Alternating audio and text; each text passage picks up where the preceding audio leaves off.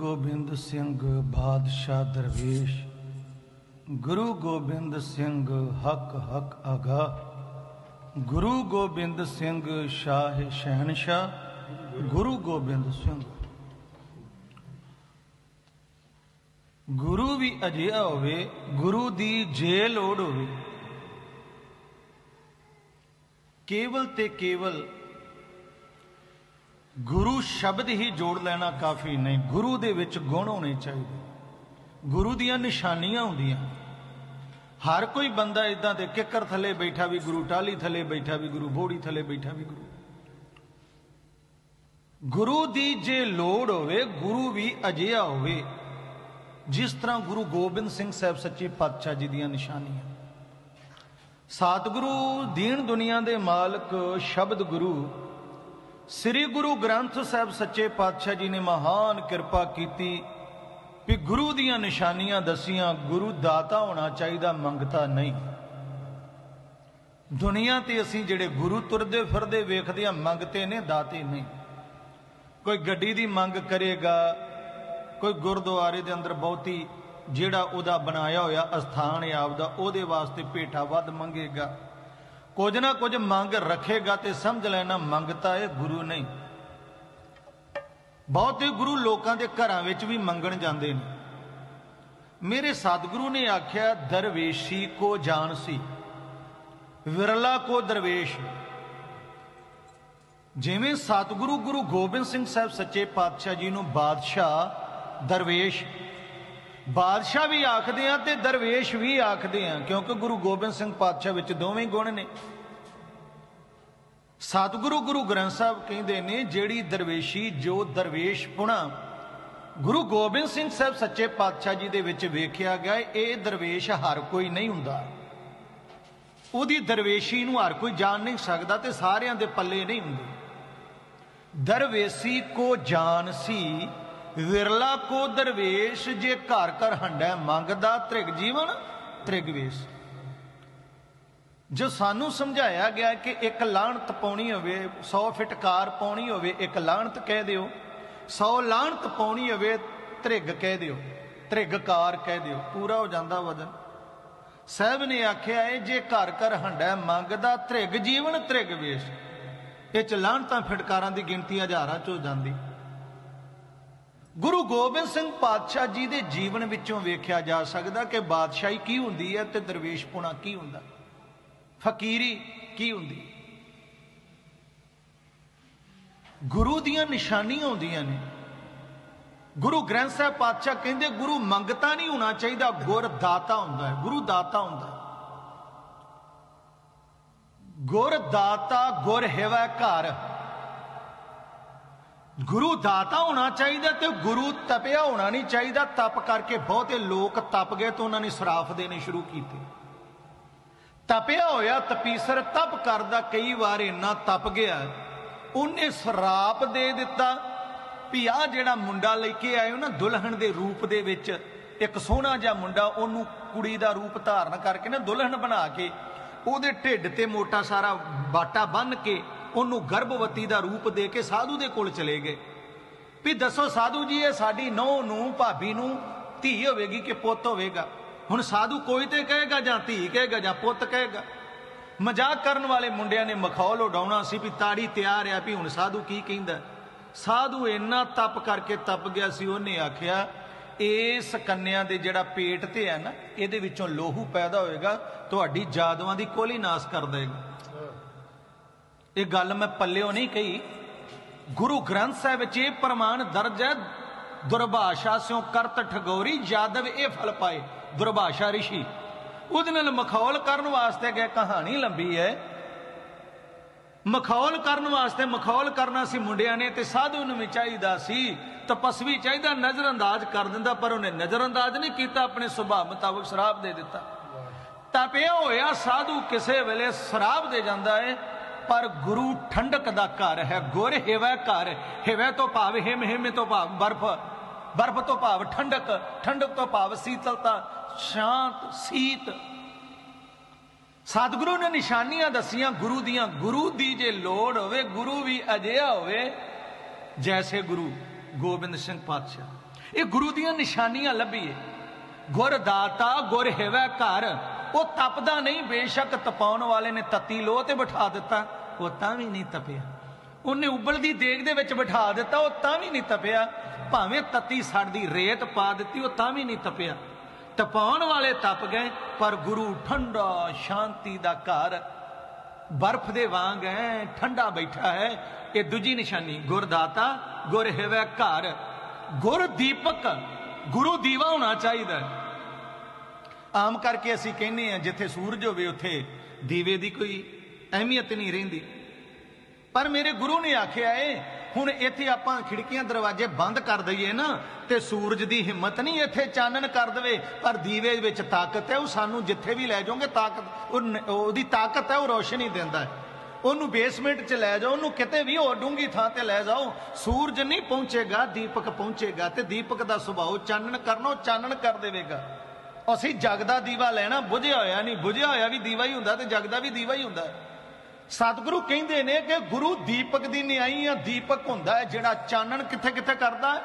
ਫਿਰ ਪੜੋ ਗੁਰ ਦਾਤਾ, ਗੁਰ ਹੈਵਾ ਘਰ, ਗੁਰ ਦੀਪਕ ਤੇ ਹੋ ਲੋਏ, ਅਮਰ ਪਦਾਰਥ ਨਾਨਕਾ ਮਨ ਮਾਨਿਆ, ਸੁਖ ਹੋਏ। ਇਹ ਗੁਰੂ ਦੀਆਂ ਨਿਸ਼ਾਨੀਆਂ।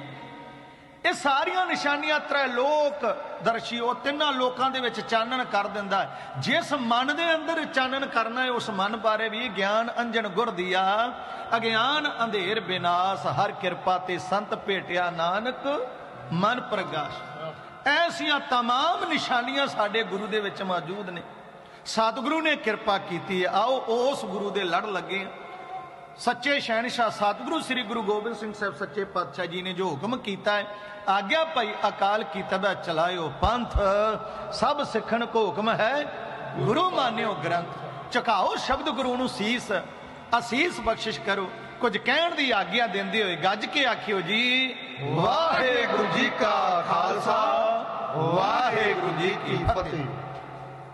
ਸਤਿਗੁਰੂ ਗੁਰੂ ਗੋਬਿੰਦ ਸਿੰਘ ਸਾਹਿਬ ਸੱਚੇ ਪਾਤਸ਼ਾਹ ਜੀ ਦੇ ਉੱਪਰ ਆਨੰਦਪੁਰ ਦੇ ਚਾਰ ਛਪੇਰੇ ਲੱਖਾਂ ਦੀ ਗਿਣਤੀ ਦੇ ਵਿੱਚ ਫੌਜ ਚੜੀ ਅਖੀਰ ਸਤਿਗੁਰੂ ਜੀ ਨੇ ਫੈਸਲਾ ਕਰ ਲਿਆ ਆਨੰਦਪੁਰ ਨੂੰ ਛੱਡ ਕੇ ਤੁਰ ਜਾਣਾ ਚਾਹੀਦਾ। ਸਤਿਗੁਰੂ ਆਨੰਦਪੁਰ ਨੂੰ ਛੱਡ ਕੇ ਸਰਸਾ ਕੰਢੇ ਆਏ, ਸਾਰੀ ਕਹਾਣੀ ਤੁਹਾਨੂੰ ਪਤਾ। ਸਤਿਗੁਰੂ ਨਿਹੰਗ ਖਾਨ ਦੇ ਘਰ ਗਏ, ਉਥੋਂ ਕੀ ਕੀ ਹੋਇਆ, ਛੋਟੇ ਸਾਹਿਬਜ਼ਾਦਿਆਂ ਦੇ ਨਾਲ ਕੀ ਹੋਇਆ? ਕੀ ਗੰਗੂ ਦਾ ਰੋਲ ਰਿਹਾ, ਕੀ ਨਿਹੰਗ ਖਾਨ ਜੀ ਦਾ ਰੋਲ ਰਿਹਾ, ਕੀ ਚਮਕੌਰ ਦੀ ਗੜੀ ਵਿੱਚ ਵਾਪਰਿਆ, ਸਾਰਾ ਹੀ ਪਤਾ ਹੈ। ਹੁਣ ਇੱਕ ਅਧਿਆਇ ਨਵਾਂ ਤੁਹਾਡੇ ਨਾਲ ਸਾਂਝਾ ਕਰਨਾ ਚਾਹੁੰਦੇ ਹਾਂ।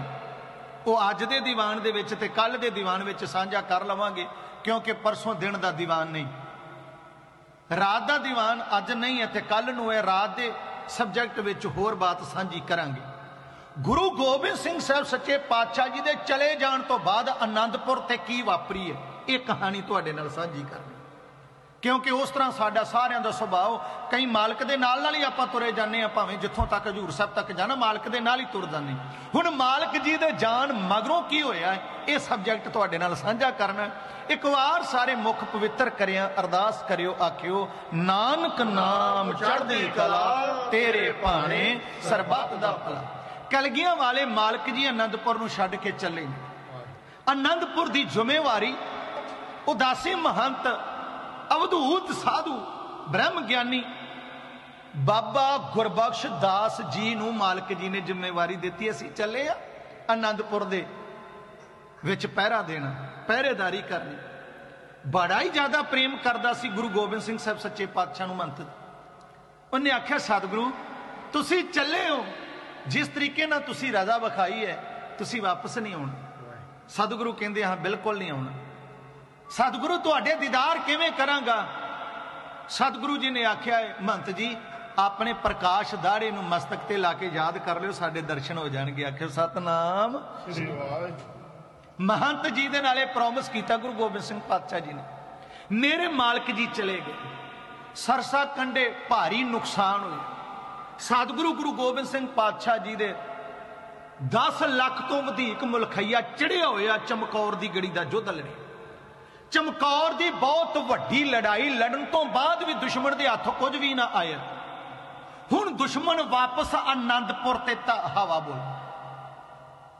ਉਧਰੋਂ ਮਹੰਤ ਗੁਰਬਖਸ਼ ਦਾਸ, ਸਤਿਗੁਰੂ ਸ੍ਰੀ ਗੁਰੂ ਤੇਗ ਬਹਾਦਰ ਸਾਹਿਬ ਸੱਚੇ ਪਾਤਸ਼ਾਹ ਜੀ ਦਾ ਦੇਰਾ ਨਾ ਜਿੱਥੇ ਸੀਸ ਦਾ ਸੰਸਕਾਰ ਹੋਇਆ ਸੀਸ ਗੰਜ ਸਾਹਿਬ ਗੁਰਦੁਆਰਾ, ਆਨੰਦਪੁਰ ਦੀ ਧਰਤੀ ਤੇ ਮਹੰਤ ਉੱਥੇ ਆਣ ਕੇ ਬੈਠ ਗਿਆ। ਮਹੰਤ ਇਕੱਲਾ ਹੀ ਰਹਿ ਗਿਆ ਸੀ ਅਨੰਦਪੁਰ ਵਿੱਚ, ਸਾਰਾ ਹੀ ਆਨੰਦਪੁਰ ਖਾਲੀ। ਚਾਰ ਛੁਪੇਰੇ, ਹਨੇਰ, ਕੁੱਪ, ਚੁੱਪ, ਛਾਂ, ਕੋਈ ਨਜ਼ਰ ਨਹੀਂ ਆਉਂਦਾ। ਹਵਾਵਾਂ ਵੀ ਆਉਂਦੀਆਂ ਤੇ ਡਰਾਉਣੀਆਂ। ਸਹਿਮਿਆ ਹੋਇਆ, ਵਿਛੋੜੇ ਦੀ ਮਾਰ ਚੱਲਦਾ, ਮਹੰਤ ਰੋਂਦਾ। ਰੋ ਰੋ ਕੇ ਉਹਦਾ ਮੰਦੜਾ ਹਾਲ ਹੋਇਆ। ਅਖੀਰ ਉਹਨੇ ਸੰਭਲ ਦਾ ਯਤਨ ਕੀਤਾ, ਇਹਨੇ ਨੂੰ ਘੋੜਿਆਂ ਦੀ ਹਿਣਕਣ ਦੀ ਆਵਾਜ਼, ਹਾਥੀ ਚੰਗਾੜ ਦੇ, ਊਠ ਘਰੜ ਘਰੜ ਕਰਦੇ ਉਹਨੂੰ ਸੁਣਾਈ ਦਿੱਤੇ। ਇੱਕਦਮ ਆਨੰਦਪੁਰ ਦੀਆਂ ਗਲੀਆਂ ਅੰਦਰ, ਬਾਜ਼ਾਰਾਂ ਅੰਦਰ ਚਾਰ ਛਪੇਰਿਓ ਲੋਟੂ ਧਾਰਾਂ ਚੜ ਕੇ ਆਈਆਂ। ਉਹਨਾਂ ਆਨੰਦਪੁਰ ਦੀ ਜੋ ਦੁਰਦਸ਼ਾ ਕੀਤੀ, ਉਸ ਦੀ ਤਸਵੀਰ ਕੋਰੜਾ ਛੰਦ ਰਹੀ ਢਾਡੀ ਜਥਾ ਬੇਨਤੀ। ਆਇਓ ਕਰਦਾ ਜੀ।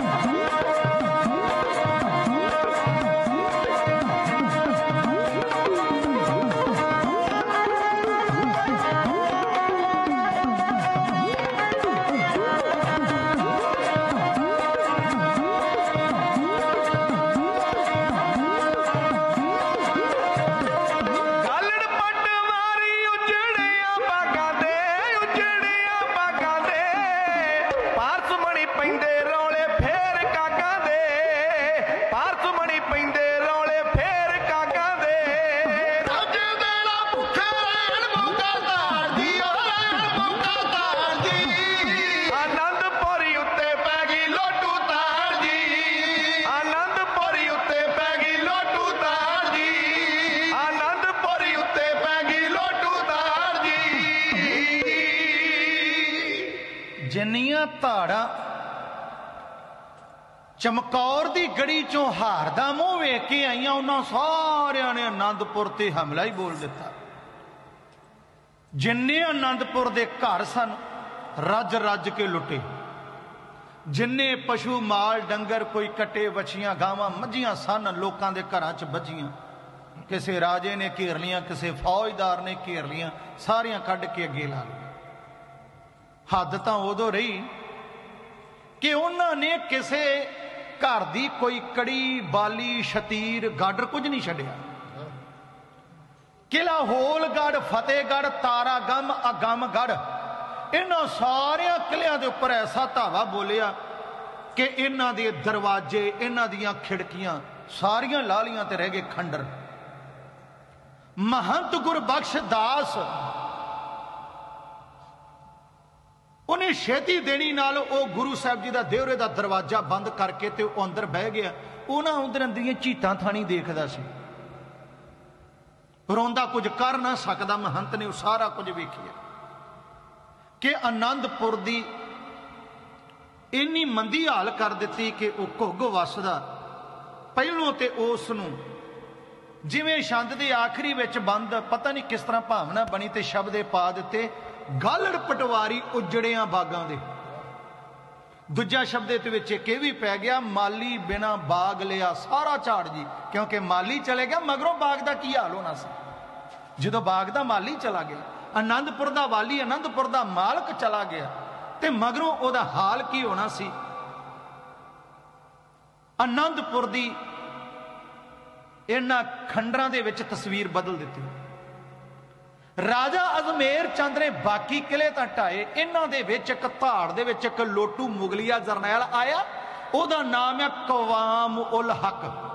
ਕੱਕਾ ਵਾਵੇ ਕੰਨਾ, ਕਵਾਮ ਉਲ ਹਕ। ਰੋਤਕ ਵਾਲਾ ਹਰਿਆਣੇ ਦੇ ਵਿੱਚ ਉਹ ਆਇਆ, ਉਹਦੀ ਨਿਗਾਹ ਪੈ ਗਿਆ, ਇੱਕ ਪਲੰਗ, ਬੜਾ ਸੁੰਦਰ ਪਲੰਗ, ਜਿਹੜਾ ਪੀਰ ਬੁੱਧੂ ਸ਼ਾਹ, ਧੰਨ ਪੀਰ ਬਦਰੂਦੀਨ ਸ਼ਾਹ ਜੀ ਨੇ ਚੜਾਇਆ ਸੀ, ਗੁਰੂ ਗੋਬਿੰਦ ਸਿੰਘ ਪਾਤਸ਼ਾਹ ਜੀ ਨੂੰ। ਉਹ ਪਲੰਗਾ ਉਹਦੇ ਕਬਜ਼ੇ ਵਿੱਚ ਆ ਗਿਆ, ਉਹਦੀ ਲੋਟੂ ਦੇ ਵਿੱਚ ਆ ਗਿਆ। ਉਹ ਉਹਨੂੰ ਗੱਡੇ ਤੇ ਚਾੜ ਕੇ ਲੈ ਗਿਆ। ਉਸ ਪਲੰਗ ਨੇ ਬਰਕਤ ਕਿੰਨੀ ਦਿੱਤੀ ਹੈ, ਇਹ ਸੁਣ ਲਓ। ਜਿਹੜਾ ਪਲੰਗਾ ਪੀਰ ਬੁੱਧੂ ਸ਼ਾਹ ਨੇ ਗੁਰੂ ਕਲਗੀਧਰ ਪਾਤਸ਼ਾਹ ਜੀ ਨੂੰ ਭੇਟਾ ਕੀਤਾ, ਕਵਾਮ ਉਲ ਹੱਕ ਉਹਨੂੰ ਲੁੱਟ ਕੇ ਲੈ ਗਿਆ। ਜਿਹੜਾ ਵੀ ਉਸ ਪਲੰਗੇ ਤੇ ਬਰਾਦਮਾਨ ਹੁੰਦਾ, ਜਾਂ ਤੇ ਮਰ ਜਾਂਦਾ, ਜਾਂ ਲੰਮੀ ਬਿਮਾਰੀ ਦੇ ਨਾਲ ਗ੍ਰਸਤ ਹੋ ਕੇ ਪੈ ਜਾਂਦਾ। ਅੱਜ ਕੱਲ ਉਹ ਚੱਲਦਾ ਚੱਲਦਾ ਪਲੰਗ ਗੁਰਦੁਆਰਾ ਸ੍ਰੀ ਗੁਰੂ ਸਿੰਘ ਸਭਾ ਰਾਜਸਥਾਨ ਦੇ ਅੰਦਰ ਜੋਧਪੁਰ ਵਿਖੇ ਮੌਜੂਦ ਹੈ। ਉਹ ਸ਼ੀਸ਼ਿਆਂ ਦੇ ਕਮਰੇ ਦੇ ਅੰਦਰ ਰੱਖਿਆ ਹੋਇਆ ਪਲੰਗਾ ਉਸ ਪਲੰਗ ਦੀ 4 ਫੁੱਟ ਚੌੜਾਈ ਤੇ 6 ਫੁੱਟ ਲੰਬਾਈ ਹੈ। ਉਹ ਐਡਾ ਸੁੰਦਰ ਪਲੰਗ ਉਹ ਅੱਜ ਵੀ ਦਰਸ਼ਨ ਦਿੰਦਾ ਹੈ। ਪਰ ਕਵਾਮ ਉਲ ਹਕ ਨਹੀਂ ਕਿਤੇ ਲੱਭਾ, ਜਿਹੜਾ ਉਹ ਪਲੰਗਾ ਲੈ ਗਿਆ। ਹੁਣ ਇਸ ਤਰੀਕੇ ਦੇ ਨਾਲ ਕਿਸੇ ਰਾਜੇ ਦੇ ਹਿੱਸੇ ਕੋਈ, ਜੋ ਵੀ ਕੁਝ ਜਿਹਦੇ ਹਿੱਸੇ ਆ, ਰੱਜ ਕੇ ਲੁੱਟ ਮਾਰ ਕੀਤੀ। ਮਲੇਰੀਆ ਪਠਾਣਾ ਬਹੁਤੀ ਅੱਤ ਚੁੱਕ ਲਈ, ਰੂਪ ਕੌਰ ਨਾਮੀ ਇੱਕ ਬੀਬੀ ਚੁੱਕ ਲਈ। ਉਹ ਰੂਪ ਕੌਰ ਨਾਂ ਦੀ ਇੱਕ ਬੀਬੀ, ਜਿਹਦਾ ਨਾਮ ਅਨੂਪ ਕੌਰ ਤੇ ਸਰੂਪ ਕੌਰ ਵੀ ਆਇਆ, ਬੀਬੀ ਇੱਕੋ ਹੀ ਉਹ ਮਲੇਰੀਆ ਪਠਾਣਾ ਦੇ ਟੋਲੇ ਦੇ ਚੁੱਕ ਲਈ। ਬੇਹੱਦ ਖੂਬਸੂਰਤ ਸੀ। ਉਹਨਾਂ ਨੇ ਮਲੇਰ ਕੋਟਲੀਆ, ਜਿਹੜਾ ਨਵਾਬ ਹੈ ਨਾ ਸ਼ੇਰ ਮੁਹੰਮਦ ਖਾਨ ਉਹਨੂੰ ਜਾ ਦਿੱਤੀ। ਉਹਨੇ ਆਪਣੇ ਟੋਲੇ ਦੇ ਨਾਲ ਹੀ ਉਹਨੂੰ ਮਲੇਰ ਕੋਟਲੇ ਲੈ ਗਿਆ। ਕਹਾਣੀ ਸਮਝੋ ਜਰਾ। ਮਲੇਰ ਕੋਟਲੇ ਲੈ ਗਿਆ ਤੇ ਉਹਨੇ ਆਖਿਆ, ਮੈਂ ਤੇਰੇ ਨਾਲ ਕੋਈ ਧੱਕੋ ਜੋਰੀ ਨਹੀਂ ਕਰਨਾ ਚਾਹੁੰਦਾ। ਤੂੰ ਨਿਕਾਹ ਕਰਾ, ਮੈਂ ਤੈਨੂੰ ਬੇਗਮ ਬਣਾ ਕੇ ਤੈਨੂੰ ਸੁਖ ਦਿਆਂ। ਤੇ ਗੁਰੂ ਕਲਗੀਧਰ ਦੀ ਸਿੱਖੀ ਧਾਰਨ ਕਰ ਚੁੱਕੀ ਬੱਚੀ ਕਿਵੇਂ ਉਹ ਕਬੂਲ ਕਰ ਸਕਦੀ ਸੀ? ਜਦੋਂ ਇਹ ਰਿਪੋਰਟ, ਇਹ ਖਬਰ ਪਹੁੰਚੀ ਸਰਹੰਦ ਤੋਂ ਵੀ ਗੁਰੂ ਗੋਬਿੰਦ ਸਿੰਘ ਦੀ ਜਨਮ ਦਾਤੀ ਤੇ ਉਹਦੇ ਦੋ ਨਿੱਕੇ ਬੱਚੇ ਅਸੀਂ ਫੜ ਲੈਣੇ ਤੇ ਤੇਰੇ ਭਰਾ ਭਤੀਜੇ ਗੁਰੂ ਗੋਬਿੰਦ ਸਿੰਘ ਨੇ ਹੱਥੀ ਚਮਕੌਰ ਚ ਮਾਰੇ ਨੇ, ਹੁਣ ਤੇਰੇ ਵਾਸਤੇ ਬਦਲਾ ਲੈਣ ਦੀ ਥਾਂ ਬਣ ਗਈ ਤੇ ਅੱਜ ਹੁਣ ਇੱਥੇ ਇਸ ਗੱਲ ਨੂੰ ਨੋਟ ਰੱਖਣਾ। ਉਸ ਰੂਪ ਕੌਰ ਬੀਬੀ ਨੇ ਗੱਲ ਸਾਰੀ ਸੁਣ ਲਈ ਵੀ ਆ ਗੱਲ ਉਹਨੇ ਆਖਿਆ, ਤੂੰ ਨਵਾਬ ਹੈ। ਜੇ ਮੇਰੇ ਨਾਲ ਨਿਕਾਹ ਕਰਨਾ ਚਾਹੁੰਦਾ ਤੇ ਮੈਂ ਤੇਰੀ ਗੱਲ ਮੰਨ ਜਾਗੀ, ਪਰ ਆ ਮੇਰੀ ਸ਼ਰਤ ਪੂਰੀ ਕਰ। ਕਿਹੜੀ ਸ਼ਰਤ? ਦਾਦੀ ਤੇ ਬੱਚਿਆਂ ਨੂੰ ਰਿਹਾ ਕਰਵਾ ਦੇ, ਮੈਂ ਇਹ ਕੁਰਬਾਨੀ ਦੇਣ ਵਾਸਤੇ ਤਿਆਰ ਹਾਂ। ਇਹ ਆਇਆ, ਇਹਨੇ ਹਾ ਦਾ ਨਾਰਾ ਜਿਹੜਾ ਮਾਰਿਆ, ਉਹਦੇ ਪਿੱਛੇ ਦਾ ਇਹ ਕਰਮ ਵੀ ਖਲੋਤਾ ਹੈ। ਕਿਉਂਕਿ ਆ ਮਗਰਲਾ ਪੱਖ ਅਸੀਂ ਵੇਖਿਆ ਨਹੀਂ, ਇਸ ਕਰਕੇ ਤੁਹਾਡੇ ਸਾਹਮਣੇ ਰੱਖਿਆ ਮਲੇਰੀਏ ਪਠਾਨ ਨੇ ਹਾ ਦਾ ਨਾਰਾ ਮਾਰਿਆ, ਆਪ ਜਾਣਦੇ ਹੋ ਇੱਕ ਵਾਰ ਰਿਹਾਈ ਦਾ ਹੁਕਮ ਹੋ ਗਿਆ ਸੀ। ਕਿ ਬੱਚਿਆਂ ਦੇ ਉੱਪਰ ਅਪੀਲ, ਦਲੀਲ ਸਾਰਾ ਕੁਝ ਹੋਇਆ ਹੈ। ਇਹ ਬਾਗੀ ਨਹੀਂ ਸਾਬਤ ਹੁੰਦੇ ਇਹ ਬੱਚੇ ਨੇ ਨਿਰਦ ਉਹ ਬਜ਼ੁਰਗ ਹੈ ਤੇ ਔਰਤ ਹੈ ਇਹਨਾਂ ਤਿੰਨਾਂ ਤੇ ਨਹੀਂ ਇਸਲਾਮ ਦੀ ਕੋਈ ਵੀ ਸ਼ਰਾ ਕੰਮ ਕਰਦੀ ਨਾ ਔਰਤ ਤੇ ਨਾ ਬਜ਼ੁਰਗ ਤੇ ਨਾ ਬੱਚਿਆਂ ਤੇ ਉਹ ਇੱਕ ਹੈਨ ਬੱਚੇ ਉਹ ਬਜ਼ੁਰਗ ਹੈ ਤੇ ਔਰਤ ਹੈ ਇਸ ਕਰਕੇ ਉਹ ਆਪਣੀ ਗੱਲ ਮਨਵਾ ਗਿਆ ਹੁਣ ਨਵਾਬ ਨੇ ਜਿਹੜੀ ਇੱਕ ਗੱਲ ਹੋਰ ਕਹੀ ਉਹ ਬੜੀ ਪਾਏਦਾਰ ਉਸਨੇ ਕਹੀ ਔਰ ਮੰਨਣੀ ਹੈ ਉਹਨੇ ਆਖਿਆ ਸੂਬੇਦਾਰ ਵਜ਼ੀਰ ਖਾਨ ਜਿਹੜੀਆਂ ਹਕੂਮਤਾਂ ਮਸੂਮਾਂ ਦੇ ਕਤਲ ਕਰਨ, ਉਹ ਸਲਤਨਤ ਤਬਾਹ ਹੋ ਜਾਇਆ ਕਰਦੀ। ਔਰ ਉਹ ਸਲਤਨਤ ਵਾਕਈ ਤਬਾਹ ਹੋ ਗਈ।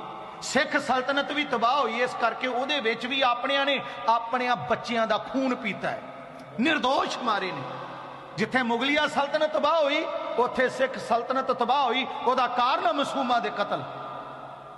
ਨਵਾਬ ਵਾਪਸ ਗਿਆ ਉਹਨੇ ਨਿਕਾਹ ਕਰਵਾ ਲਿਆ ਤੇ ਜਦੋਂ ਇਹ ਖਬਰ ਪਹੁੰਚੀ ਵੀ ਬੱਚੇ ਵੀ ਸ਼ਹੀਦ ਹੋ ਗਏ, ਮਾਂ ਵੀ ਸ਼ਹੀਦ ਹੋ ਗਈ, ਫਿਰ ਉਸ ਬੱਚੀ ਨੇ ਖੰਜਰ ਕੱਢੀ ਤੇ ਨਵਾਬ ਨੂੰ ਮਾਰਨ ਵਾਸਤੇ ਪਈ। ਉਹਦਾ ਜਿਹੜਾ ਬੋਡੀਗਾਰਡ ਸੀਗਾ ਗਨਮੈਨ ਉਹਦਾ ਸੁਰੱਖਿਆ ਗਾਰਡ ਉਹਨੇ ਤਲਵਾਰ ਮਾਰ ਕੇ ਉਸ ਬੀਬੀ ਨੂੰ ਸ਼ਹੀਦ ਕਰ ਦਿੱਤਾ। ਉਹ ਆਪਣੀ ਤਨ ਦੀ ਕੁਰਬਾਨੀ ਦੇਗੀ ਆਪਣੇ ਵਿਕਾਰ ਦੀ ਕੁਰਬਾਨੀ ਦੇਗੀ ਔਰ ਆਪਣੇ ਧਰਮ ਦੀ ਵੀ ਉਸਨੇ ਉੱਥੇ ਆਪਣਾ ਪਹਿਰਾ ਦਿੱਤਾ ਹੈ। ਹੁਣ ਕਹਾਣੀ ਕੀ ਹੈ? ਕਿ ਉਹਦੇ ਨਾਲ ਉਹਨੇ ਨਿਕਾਹ ਕਰਵਾ ਲਿਆ ਸੀ, ਇਸ ਕਰਕੇ ਸ਼ੇਰ ਖਾਨ ਨੇ, ਨਵਾਬ ਨੇ ਉਹਨੂੰ ਦਫਨਾ ਦਿੱਤਾ।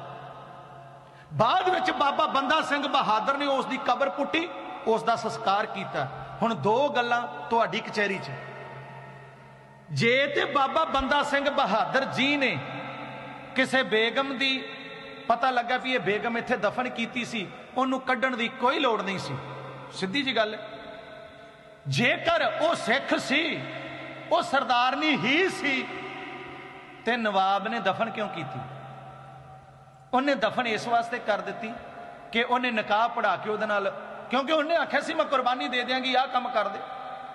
ਜਦੋਂ ਵੇਖਿਆ ਨਹੀਂ ਹੋਇਆ, ਉਹਨੇ ਆਪਣਾ ਧਰਮ ਨਿਭਾਇਆ, ਉਹਨੇ ਉਸ ਨੂੰ ਦਫਨ ਕਰ ਦਿੱਤਾ। ਬੰਦਾ ਸਿੰਘ ਬਹਾਦਰ ਨੂੰ ਪਤਾ ਲੱਗਾ, ਉਸ ਬੀਬੀ ਦੇ ਨਾਲ ਗਲਤ ਹੋਇਆ ਹੈ। ਉਸ ਨੇ ਆਪਣੀ ਕੁਰਬਾਨੀ ਦਿੱਤੀ ਹੈ। ਇਸ ਕਰਕੇ ਉਹਦਾ ਦਫਨ ਕਰਨਾ ਜ਼ਰੂਰੀ ਨਹੀਂ, ਉਹਦਾ ਸੰਸਕਾਰ ਕਰਨਾ ਜ਼ਰੂਰੀ ਹੈ। ਬਾਬਾ ਬੰਦਾ ਸਿੰਘ ਬਹਾਦਰ ਨੇ ਜਦੋਂ ਇਸ ਮਲੇਰਕੋਟਲੇ ਪਠਾਨ ਨੂੰ ਮਾਰਿਆ ਮਲੇਰਕੋਟਲੇ ਦੇ ਉੱਤੇ ਧਾਈ ਕੀਤੀ ਹੈ, ਫਿਰ ਉਹ ਉਹਦੀ ਕਬਰ ਚੋਂ ਕੱਢ ਕੇ ਉਹਨੂੰ ਸਿੱਖ ਰੋਹ ਰੀਤੀ ਅਨੁਸਾਰ ਸੰਸਕਾਰ ਕਰਕੇ ਉਹਦੀ ਅੰਤਮ ਅਰਦਾਸ ਕੀਤੀ ਗਈ।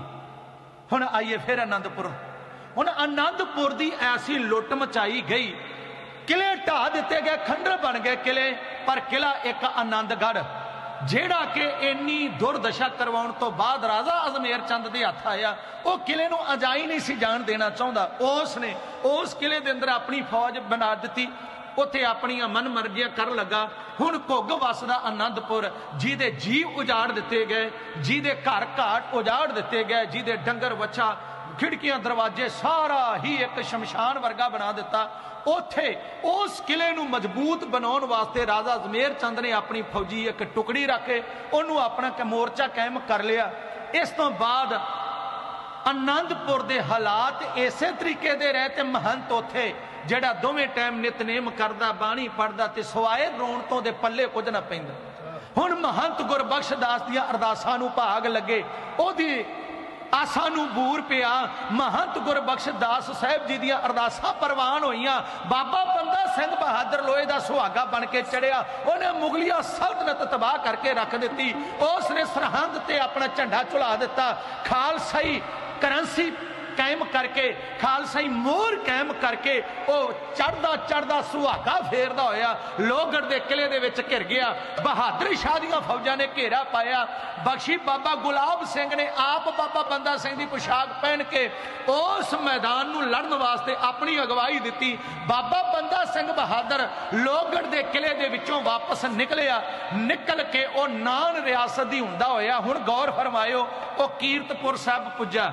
ਕੀਰਤਪੁਰ ਸਾਹਿਬ ਪੁੱਜ ਕੇ ਸੀਸ ਮਹਿਲ ਬਿਵਾਨਗੜ ਉੱਥੇ ਕੀਰਤ ਪਤਾਲਪੁਰੀ ਸਾਰੇ ਸਥਾਨਾਂ ਤੇ ਮੱਥਾ ਟੇਕ ਕੇ ਯਥਾ ਸ਼ਕਤ ਪੇਟਾਵਾਂ ਚੜਾ ਕੇ ਇੱਥੇ ਸਤਿਗੁਰੂ ਸ੍ਰੀ ਗੁਰੂ ਹਰ ਰਾਏ ਸਾਹਿਬ ਸੱਚੇ ਪਾਤਸ਼ਾਹ ਜੀ ਦੀ ਧਰਮ ਸੁਪਤਨੀ ਬੀਬੀ ਸੁਲੱਖਣੀ ਜੀ ਕ੍ਰਿਸ਼ਨ ਕੌਰ ਜੀ ਦੇ ਚਰਨੀ ਆਣ ਕੇ ਮੱਥਾ ਟੇਕਿਆ ਅਤੇ ਉਹਨਾਂ ਦੀ ਸੁਪੁੱਤਰੀ ਬੀਬੀ ਰੂਪ ਕੌਰ ਸਾਹਿਬ ਜੀ ਨੂੰ ਬੜਾ ਮਾਣ, ਆਦਰ, ਸਤਕਾਰ ਦਿੱਤਾ ਬਾਬਾ ਬੰਦਾ ਸਿੰਘ ਬਹਾਦਰ ਸਾਹਿਬ ਜੀ ਨੇ। ਇੱਥੇ ਹੀ ਬੈਠ ਕੇ ਅਨੰਦਪੁਰ ਦੀਆਂ ਵਾਰਤਾਂ ਸੁਣੀਆਂ, ਅਨੰਦਪੁਰ ਦੀਆਂ ਗੱਲਾਂ ਸੁਣੀਆਂ।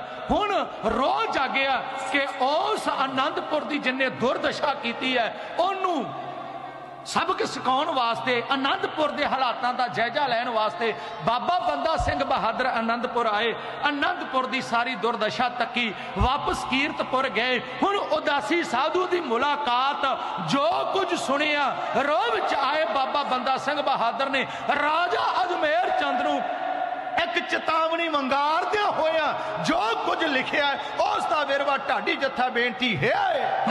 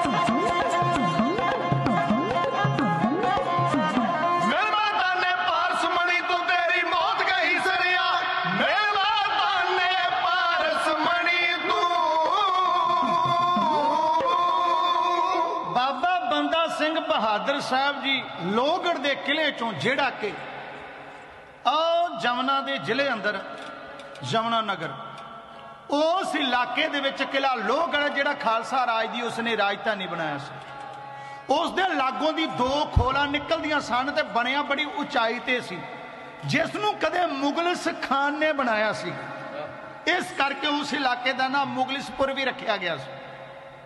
ਕਿਲਾ ਬੜਾ ਮੁਕਾਮ ਤੇ ਸੀ। ਬਾਬਾ ਬੰਦਾ ਸਿੰਘ ਬਹਾਦਰ ਨੇ ਉੱਤੇ ਕਬਜ਼ਾ ਕੀਤਾ। ਕਿਉਂਕਿ ਆਉਣ ਵਾਲੀਆਂ ਮੁਸ਼ਕਲਾਂ ਦਾ ਸਾਹਮਣਾ ਕਰਨ ਵਾਸਤੇ ਉਹ ਕਿਲਾ ਬੜਾ ਪਾਏਦਾਰ ਸੀ। ਉਸ ਦੇ ਅੰਦਰ ਹੋਰ ਮੋਰਚੇ ਕਾਇਮ ਕਰਕੇ, ਫੌਜ ਤਾਇਨਾਤ ਕਰਕੇ, ਬਾਬਾ ਬੰਦਾ ਸਿੰਘ ਬਹਾਦਰ ਜੀ ਨੇ 60000 ਫੌਜ ਬਹਾਦਰ ਸ਼ਾਹ ਧੋਖੇਬਾਜ਼ ਦੀ, ਅਹਿਸਾਨ ਫਰਾਮੋਸ਼ ਦੀ, ਸ਼ਾਹੀ ਸੈਨਾ, ਕਿਉਂਕਿ ਦਗੇਬਾਜ਼ ਹੈ ਔਰੰਗਜ਼ੇਬ ਦਾ ਪੁੱਤਰ ਸ਼ਹਿਜ਼ਾਦਾ ਮੁਅਜ਼ਮ, ਜਿਹੜਾ ਬਹਾਦਰ ਸ਼ਾਹ ਬਣਿਆ।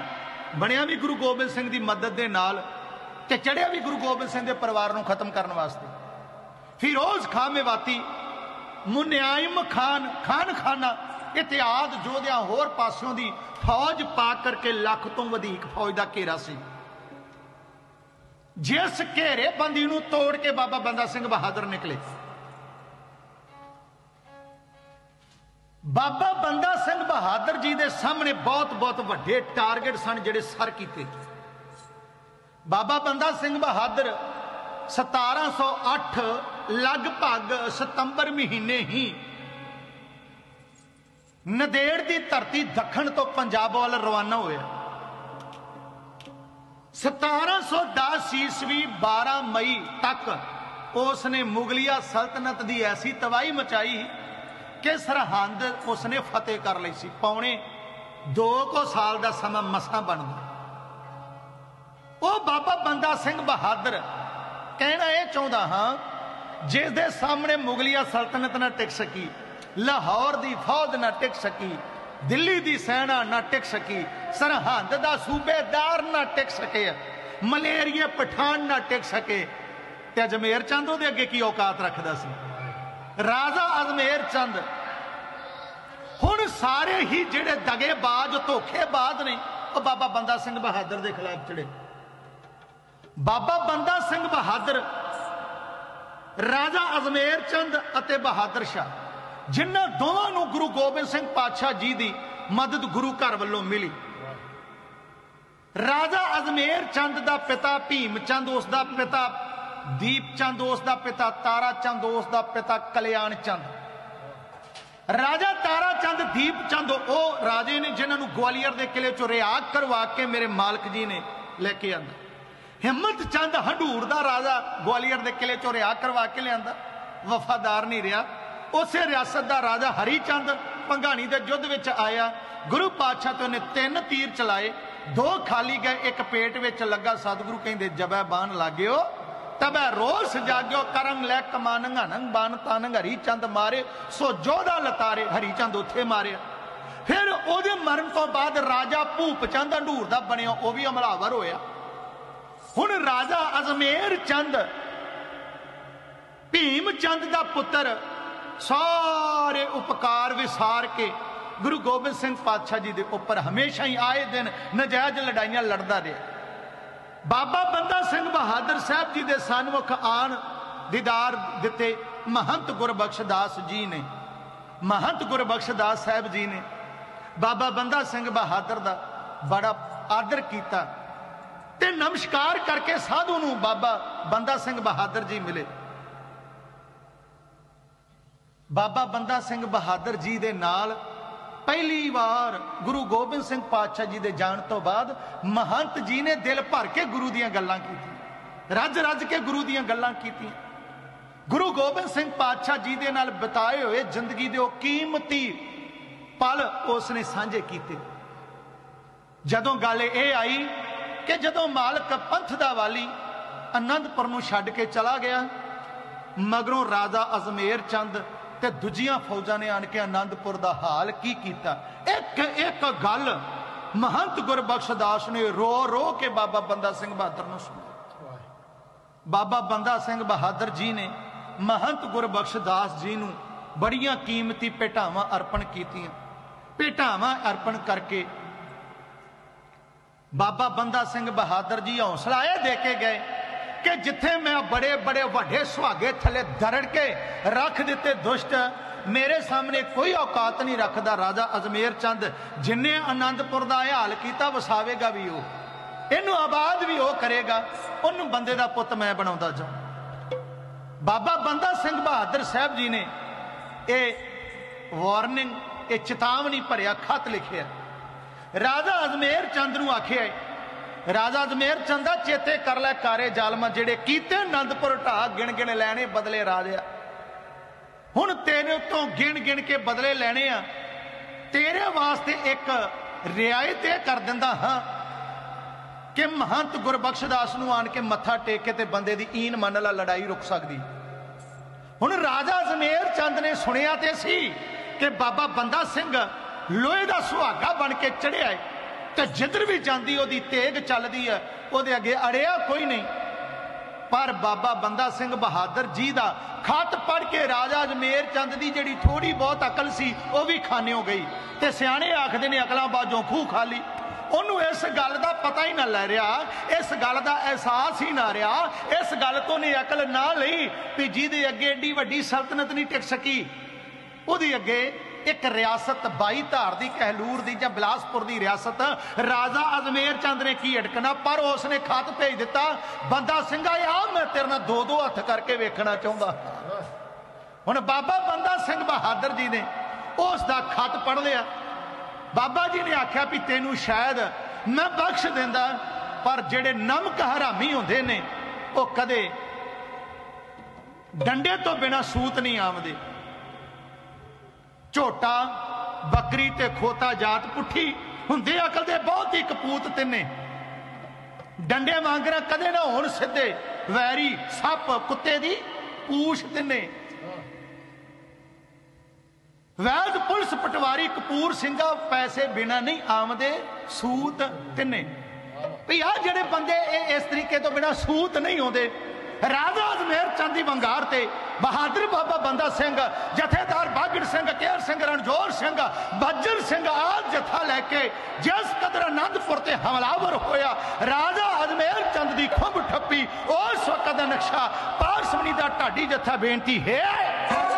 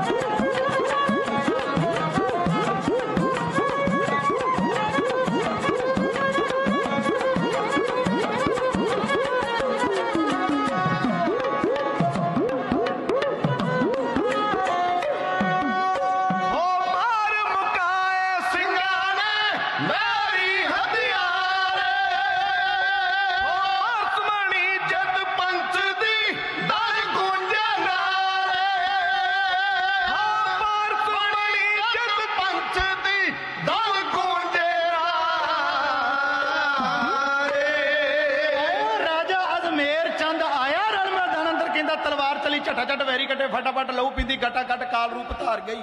ਵਾਰ ਧਰੀ ਕਟਾ ਕਟ ਫਟਰਾਂ ਦੀ ਰਟ ਰਟ ਸੂਟੇ ਡਿੱਗੇ, ਸੱਟਾ ਸੱਡ ਕਈਆਂ, ਮੌਤ ਪਿਆਰ ਗਈ। ਜਿਗਰਾ ਸ਼ੇਰ ਕੀਤਾ, ਵਾਰ ਉਲਟ ਫੇਰ ਕੀਤਾ ਸਾਹਵੇਂ ਆਇਆ, ਢੇਰ ਕੀਤਾ, ਐਸਾ ਪੰਜਾ ਮਾਰ ਗਈ। ਆਖਦਾ ਹੈ, ਪਾਰਸ ਮਣੀ, ਲਹੂ ਮਿਜ ਕਹਾਣੀ ਬਣੀ, ਸਾਹਾਂ ਤੰਦੋ ਟੁੱਟੀ ਤਣੀ ਜਿੰਦ ਬਾਜੀ ਆ ਗਈ ਦਾਨ ਅੰਦਰ ਰਾਜਾ ਅਜਮੇਰ ਚੰਦ ਨੇ ਵੰਗਾਰਿਆ। ਬਾਬਾ ਬੰਦਾ ਸਿੰਘ ਬਹਾਦਰ ਨੇ ਹੱਲਾ ਬੋਲ ਦਿੱਤਾ। ਰਾਜਾ ਅਜਮੇਰ ਚੰਦ ਨੂੰ ਹਾਥੀ ਤਿਆਰ ਕਰਕੇ ਲਾਉਣੇ ਬੜੇ ਆਉਂਦੇ ਨੇ, ਸੱਤ ਖੁੰਖਾਰ ਹਾਥੀ ਉਹ ਹਾਈ, ਜਿਹੜੀ ਲੋਹਗੜ੍ਹ ਦੇ ਕਿਲੇ ਦੇ ਬਾਰ-ਬਾਰ ਉਸਨੇ ਜੰਗ ਲੜਨ ਦਾ ਯਤਨ ਕੀਤਾ ਹੁਣ ਸੱਤ ਲਾਏ। ਬਾਗੜ ਸਿੰਘ ਦੇ ਜਥੇ ਨੇ ਸੱਤੇ ਹੀ ਮਾਰੇ। ਜਿਹੜੇ ਕਿਲੇ ਦੇ ਮੁੱਖ ਦਰਵਾਜ਼ੇ ਅੱਗੇ ਪੰਜ ਹਾਥੀ ਲਾਏ, ਉਹਨਾਂ ਦੇ ਵੀ ਲੋਹੇ ਦੇ ਨਾਲ ਮੜ ਕੇ ਲਾਏ ਸੀ। ਉਹ ਜਥੇਦਾਰ ਕੇਰ ਸਿੰਘ ਦੇ ਤੀਰਾਂ ਨੇ ਮਾਰ ਮਕਾਈ। ਇਸ ਚੱਲਦੀ ਹੋਈ ਜੰਗ ਅੰਦਰ ਬਾਬਾ ਬੰਦਾ ਸਿੰਘ ਬਹਾਦਰ ਦੀ ਤੇਗ ਨੇ ਐਸਾ ਵਢਾਂਗਾ ਪਾਇਆ ਕਿ 1300 ਬੰਦੇ ਰਾਜਾ ਅਜਮੇਰ ਚੰਦ ਦੀ ਫੌਜ ਦੇ ਮਾਰੇ ਬਾਬਾ ਰਣਜੋਰ ਸਿੰਘ, ਬੱਜਰ ਸਿੰਘ ਨੇ ਜਿਹੜੇ ਕਿਲੇ ਦੇ ਦਰਵਾਜ਼ੇ ਸੀ, ਉਹੀ ਉਹ ਪੁੱਟ ਕੇ ਬਾਹਰ ਸੁੱਟ ਦਿੱਤੇ। ਬਾਬਾ ਬੰਦਾ ਸਿੰਘ ਬਹਾਦਰ ਕਿਲੇ ਦੇ ਅੰਦਰ ਆਏ। ਰਾਜਾ ਅਜਮੇਰ ਚੰਦ ਹਾਰਿਆ, ਬਾਬਾ ਬੰਦਾ ਸਿੰਘ ਬਹਾਦਰ ਜਿੱਤੇ। ਰਾਜਾ ਅਜਮੇਰ ਚੰਦ ਨੇ ਆਨ ਮੱਥਾ ਟੇਕਿਆ। ਕਿ ਬਖਸ਼ ਲੈ ਸਾਈਆਂ। ਨਹੀਂ ਸੀ ਪਤਾ। ਮੈਂ ਫਿਰ ਬੇਨਤੀ ਕਰਦਿਆਂ ਜਿਸ ਦੇ ਅੱਗੇ ਮੁਗਲਿਆ ਸਲਤਨਤ ਨਹੀਂ ਅੜ ਸਕੀ ਔਰ ਰਾਜਾ ਅਜਮੇਰ ਚੰਦ ਕੀ ਔਕਾਤ ਸੀ। ਇਹਦੀ ਮੂਰਖਤਾ ਸੀ ਕਿ ਬਾਬਾ ਬੰਦਾ ਸਿੰਘ ਬਹਾਦਰ ਨੂੰ ਵੰਗਾਰਨਾ ਹੁਣ ਇੰਨਾ ਜ਼ਿਆਦਾ ਦਰਕਿਆ ਰਾਜਾ ਅਜਮੇਰ ਚੰਦ, ਜਿਹੜੇ 1300 ਬੰਦੇ ਮਰ ਗਏ, ਉਹਨਾਂ ਦਾ ਕੋਈ ਵਾਲੀ ਵਾਰਸ ਨਾ ਅੱਗੇ ਆ ਬਾਬਾ ਬੰਦਾ ਸਿੰਘ ਬਹਾਦਰ ਨੇ ਵੱਡੇ ਸਾਰੇ 13 ਟੋਏ ਪੁੱਟੇ 13 ਉਹਦੇ ਵਿੱਚ ਇੱਕ 100 100 ਸੁੱਟ ਕੇ ਤੇ ਮਿੱਟੀ ਪਾ ਦਿੱਤੀ। ਕੰਮ ਨਿਬੇੜੇ ਰਾਜਾ ਜ਼ਮੇਰ ਚੰਦ ਨੂੰ ਬੰਦੇ ਦਾ ਪੁੱਤ ਬਣਾ ਕੇ ਉਹਨੂੰ ਆਖਿਆ ਵੀ ਹੁਣ ਤੂੰ ਰਾਜ ਕਰਨਾ, ਰਿਆਸਤ ਚਲਾਉਣੀ ਹੈ ਜੀ ਸਦਕੇ ਚਲਾ। ਟਕੇ ਮਹੰਤ ਬਾਬਾ ਗੁਰਬਖਸ਼ ਦਾਸ ਜੀ ਨੂੰ ਮੱਥਾ ਟੇਕ। ਉਹਨਾਂ ਦੀ ਅਧੀਨਗੀ ਕਬੂਲ ਕੇ ਸਰਪ੍ਰਸਤੀ ਰਹੇਗੀ ਬਾਬਾ ਬੰਦਾ ਸਿੰਘ ਬਹਾਦਰ ਦੀ। ਉਜੜੇ ਹੋਏ ਅਨੰਦਪੁਰ ਨੂੰ ਵਸਾਉਣ ਦਾ ਜੁਮਾ ਰਾਜਾ ਜ਼ਮੇਰ ਚੰਦ ਨੂੰ ਦੇ ਕੇ ਬਾਬਾ ਗੁਰਬਖਸ਼ ਦਾਸ ਜੀ ਨੂੰ ਉਹਦੇ ਉੱਪਰ ਹੁਕਮਰਾਨ ਥਾਪ ਕੇ ਬਾਬਾ ਬੰਦਾ ਸਿੰਘ ਬਹਾਦਰ ਆਨੰਦਪੁਰ ਤੋਂ ਕੀਰਤਪੁਰ ਸਾਹਿਬ ਕੋਈ ਦਿਨ ਡੇਰਾ ਕਰਕੇ ਜੰਮੂ ਕਸ਼ਮੀਰ ਵੱਲ ਚਲਾ ਗਿਆ। ਇਹਦੋਂ ਅੱਗੇ ਕੀ ਹੋਇਆ? ਇਸ ਲੜਾਈ ਤੋਂ ਬਾਅਦ ਦਾ ਕੀ ਰਿਜ਼ਲਟ ਹੋਇਆ? ਉਹ ਕੱਲ ਦੇ ਦੀਵਾਨ ਦੇ ਵਿੱਚ ਕਹਾਣੀ ਫਿਰ ਇੱਥੋਂ ਆਰੰਭ ਕਰਕੇ ਕੱਲ ਨੂੰ ਸਮਾਪਤ ਕਰਨ ਦਾ ਯਤਨ ਕਰਾਂਗਾ। ਬੇਅੰਤ ਭੁੱਲਾਂ ਦੀ ਖਿਮਾ। ਬਹੁਤ ਹੀ ਸਤਿਕਾਰਯੋਗ ਢਾਡੀ ਭਾਈ ਵਿਕਰਮਜੀਤ ਸਿੰਘ ਜੀ ਅਨਮੋਲ, ਜਿਨ੍ਹਾਂ ਦਾ ਨਾਮ ਅਨਮੋਲ ਹੈ, ਉਹਨਾਂ ਦਾ ਤੋਲ ਬੋਲ ਕਿਵੇਂ ਕੀਤਾ ਜਾ ਸਕਦਾ? ਕਹਿਬੇ ਕੋ ਸੋਭਾ ਨਹੀਂ, ਦੇਖਾ ਹੀ ਪ੍ਰਵਾਨ। ਸਤਿਗੁਰੂ ਕਿਰਪਾ ਕਰਨ, ਗੁਰੂ ਹਰਗੋਬਿੰਦ ਸਾਹਿਬ ਸੱਚੇ ਪਾਤਸ਼ਾਹ, ਕਿਰਪਾ ਕਰਨ ਇਸ ਢਾਡੀ ਜਥੇ ਨੂੰ। ਚੜ੍ਹਦੀਆਂ ਕਲਾਂ ਬਖਸ਼ਿਸ਼ ਕਰਨ, ਤਰੱਕੀਆਂ ਬਖਸ਼ਿਸ਼ ਕਰਨ, ਵਾਹਿਗੁਰੂ। ਅੰਗ ਸੰਗ ਰਹਿ ਕੇ ਆਪ ਦਾ ਜਸ ਆਪ ਕਰਵਾ ਲੈਣ। ਦਾਸ ਕੋਟਾਨ ਕੋਟ ਸ਼ੁਕਰਾਨਾ ਚੋਜੀ ਪ੍ਰੀਤਮ ਸਤਿਗੁਰੂ ਗੁਰੂ ਗ੍ਰੰਥ ਸਾਹਿਬ ਜੀ ਦਾ ਕਰਦੇ ਨੇ। ਆਪ ਗੁਰੂ ਕੀਆਂ ਸੰਗਤਾਂ ਦਾ ਧੰਨਵਾਦ ਹੈ, ਪ੍ਰਬੰਧਕ ਜਨਾਂ ਦਾ ਧੰਨਵਾਦ ਹੈ, ਗ੍ਰੰਥੀ ਸਹਿਬਾਨ ਉਹਨਾਂ ਦਾ ਧੰਨਵਾਦ ਹੈ। ਬੇਅੰਤ ਭੁੱਲਾਂ ਦੀ ਖਿਮਾ ਦਿੰਦੇ ਆਉਣ ਵਾਲੇ ਜਥੇ ਨੂੰ ਜੀਓ ਆਇਆ। ਸਾਨੂੰ ਆਗਿਆ ਦਿਓ, ਆਖਿਓ ਜੀ, ਵਾਹਿਗੁਰੂ ਜੀ ਕਾ ਖਾਲਸਾ, ਵਾਹਿਗੁਰੂ ਜੀ ਕੀ ਫਤਿਹ।